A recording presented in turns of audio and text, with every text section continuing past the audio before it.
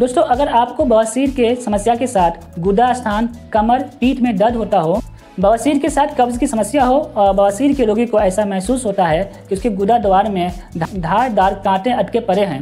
तो ऐसी कंडीशन में आप इस होम्योपैथिक दवा का सेवन कीजिए। एस्कुलस हिप 30 पावर की दो बूंद दिन में तीन बार लीजिए। अगर आप इस दवा का इस तरीके से सेवन करते हैं तो आपके बवासीर की समस्या हमेशा के लिए ठीक होने लगेगी। हेलो दोस्तों, कैसे हैं आप? उम्मीद करते हैं आप अच्छे होंगे। मैं डॉक्टर एम आई गेस्टो हेल्थ केयर फिर से आपके लिए एक नई वीडियो लेकर आया हूँ। आज हम लोग देखेंगे इस वीडियो में बवासीर की समस्या जिससे पाइल्स या हेमराइड्स बवासीर की समस्या आजकल आम बात हो गई है, जो बहुत सारे लोगों में देखने को मिलती है। बवासीर की समस्या बहुत ही तकलीफ़ देह होती है, लेकिन शुरुआती अवस्था में अगर बवासीर का इलाज कराया जाए और साथ में खान पान का ख्याल रखा जाए तो बवासीर की समस्या को हमेशा के लिए खत्म कर सकते हैं। आइए अब देखते हैं इस वीडियो में बवासीर से हमेशा के लिए छुटकारा पाने का उपाय। चलिए शुरू करते हैं।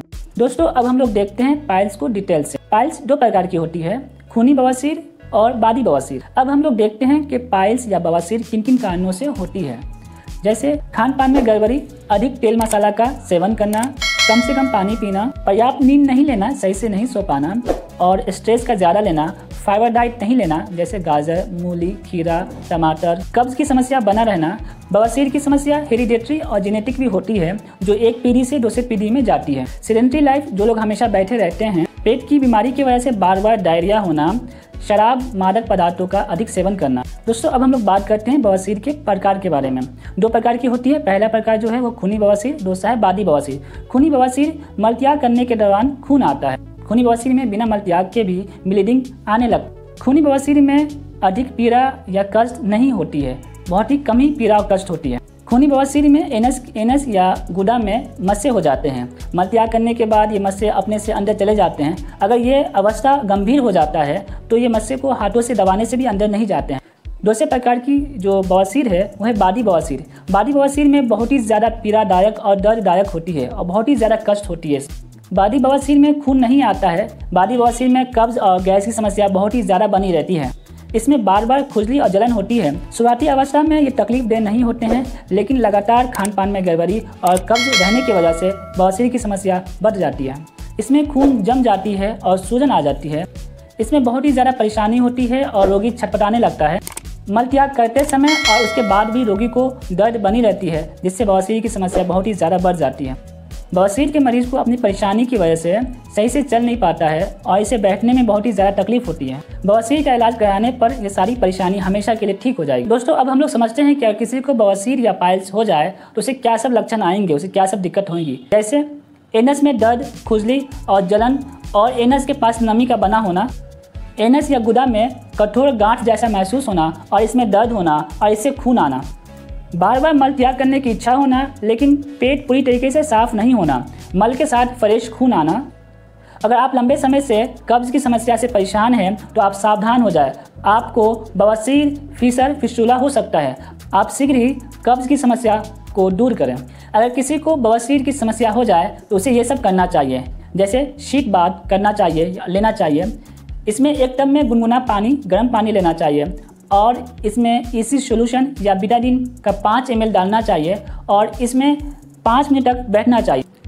पर्याप्त मात्रा में पानी पीना चाहिए फाइबर डाइट लेना चाहिए, अंकुरित अनाज, मूंग चना, फल और फ्रूट्स का सेवन करना चाहिए, केला, पपीता, खीरा, गाजर, टमाटर, खाना धीरे धीरे और अच्छे से चबाकर खाना चाहिए, खाना समय से लेना चाहिए, हरी और पत्तीदार सब्ज़ी का सेवन करना चाहिए, पर्याप्त मात्रा में नींद लेना चाहिए, जूस और जूसी चीज़ों का सेवन करना चाहिए। ये सब जीवन शैली में बदलाव करने के बाद भी कब्ज और की समस्या दूर नहीं होती है।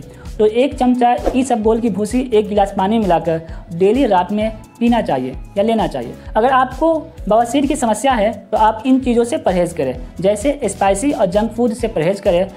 चाय कॉफ़ी कम से कम पिए। मादक और शराब पदार्थों का सेवन बंद कर दें। जैसे सिगरेट बीड़ी टोबैको गांजा भाँग इत्यादि। लेट नाइट तक नहीं जागना चाहिए और मानसिक तनाव कम से कम लें। दोस्तों, अब हम लोग देखते हैं होम्योपैथिक दवा।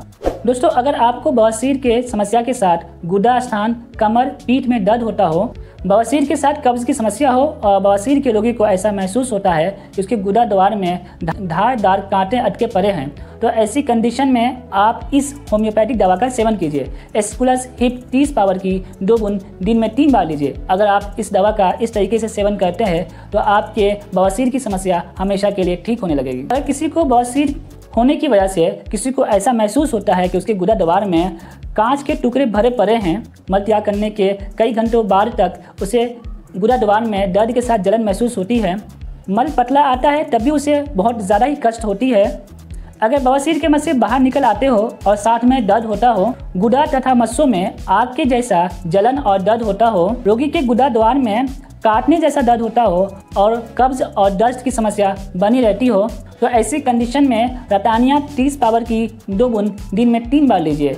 इस तरीके से अगर आप इस दवा का सेवन करते हैं तो आपके बवासीर की समस्या, आपकी ये सारी समस्या हमेशा के लिए कुछ दिनों में ठीक हो जाएगी। अगर किसी को खूनी बवासीर हो, जिसमें आसानी से खून आ जाता हो, जब रोगी शौच करने जाता है तो उसके गुदा द्वार पर दर्द होता है, चाहे पतली मल आती हो, तब भी दर्द होता है। मल त्याग करने के एक या दो घंटे के बाद रोगी को मल द्वार पर बहुत तेज दर्द रुक रुक के होता हो बवासीर के मत से बाहर निकल आते हो और इसमें चुभन जैसा दर्द होता हो तो ऐसी कंडीशन में नाइट्रिक एसिड 30 पावर की दो बूंद, दिन में दो बार लीजिए। अगर आप इस दवा का इस तरीके से सेवन करते हैं तो आपके खूनी बवासीर की समस्या हमेशा के लिए ठीक हो जाएगी। अगर किसी को बवासीर की समस्या के साथ कब्ज की समस्या हो और इसे बार बार मल त्याग करने की इच्छा होती है, लेकिन हर बार थोड़ा सा ही मल त्याग होता है, पूरा पेट साफ़ नहीं होता है मल त्याग करने के लिए जब तक ये दोबारा नहीं जाए, तब तक इसको थोड़ा भी आराम नहीं मिलता है।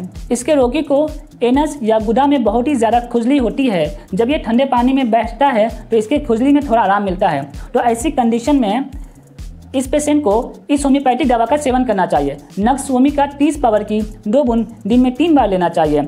अगर आप इस दवा का इस तरीके से सेवन करते हैं तो आपकी सब समस्या हमेशा के लिए ठीक हो जाएगी। अगर किसी को खूनी बवासीर हो और खूनी बवासीर के रोगी को मस्सों से काला खून बहता हो और इसमें हल्का हल्का दर्द महसूस होता हो, खून अधिक मात्रा में बहता हो और टपकन महसूस होती हो तो ऐसी कंडीशन में हेमामेलिस क्यू पावर की 20 बूंद आधे कप पानी में मिलाकर दिन में तीन बार लीजिए।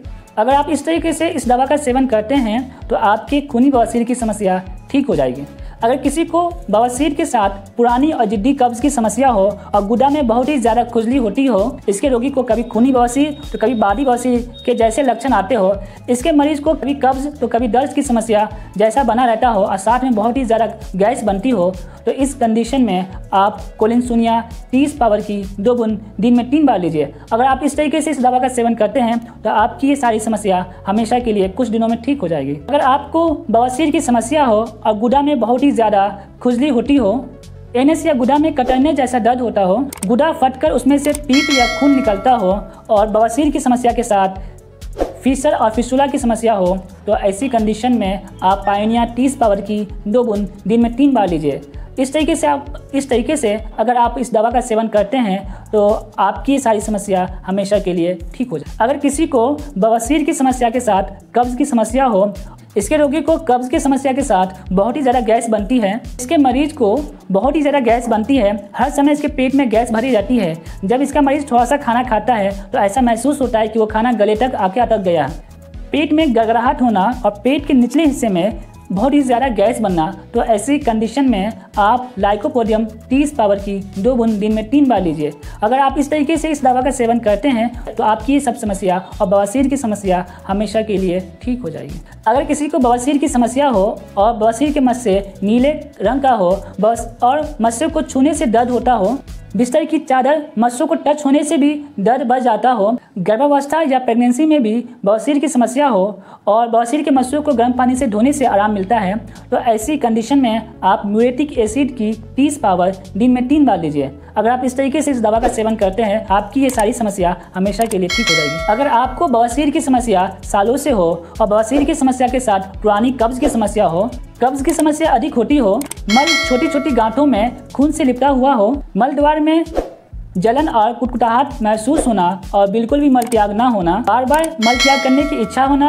और खून मिले दस्त होना तो ऐसी कंडीशन में आप सल्फ़र तीस पावर की दो बूंद दिन में दो बार लीजिए इस तरीके से अगर आप इस दवा का सेवन करते हैं तो आपके बवासीर की समस्या हमेशा के लिए ठीक हो जाएगी।